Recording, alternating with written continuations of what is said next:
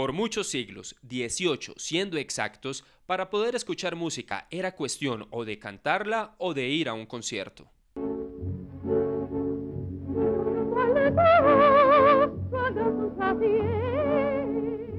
Sin embargo, en el siglo XIX el hombre empezó a crear dispositivos para capturarla y así disminuir lo efímero de sus melodías. Uno de estos dispositivos se quedó en nuestros corazones. Ese que se encuentra amparado por el corazón de Jesús, al lado de la mata de sombra, debajo de las porcelanas de la mamá, adornado por la carpeta de crochet. Ese que se llama tocadiscos. Este objeto, digno de veneración familiar, utilizado solo por mayores responsables que sabían de esa tecnología, desveló a más de una generación. Dentro de sus discos de acetato se grabaron grandes creaciones de la música, como Abbey Road, The Dark Side of the Moon, el Led Zeppelin 1 y el Black Sabbath.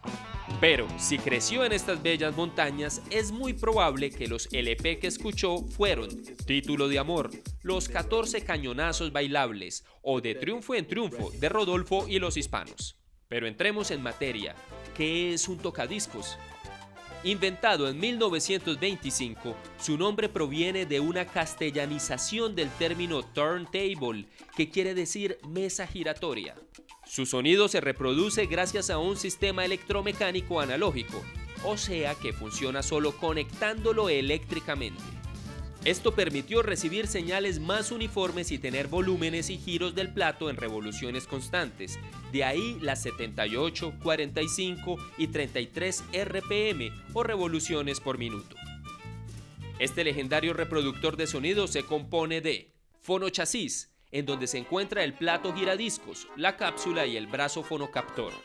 Suspensión para evitar vibraciones externas. Plato giratorio, mayor a 12 pulgadas y que incluye en su interior el motor que genera la rotación del disco. Brazo fonocaptor, el cual sigue los surcos del disco lo más fielmente posible, yendo desde el borde hasta el interior y cápsula fonocaptora, esa pequeña cajita que transforma la energía producida entre el roce de la aguja y los surcos del disco en vibraciones sonoras emitidas por los altavoces. A pesar de su popularidad, llegaron los años 80 con su revolución digital, una época en donde los tocadiscos fueron aplastados por las computadoras y los CDs, enviándolo así directamente al olvido.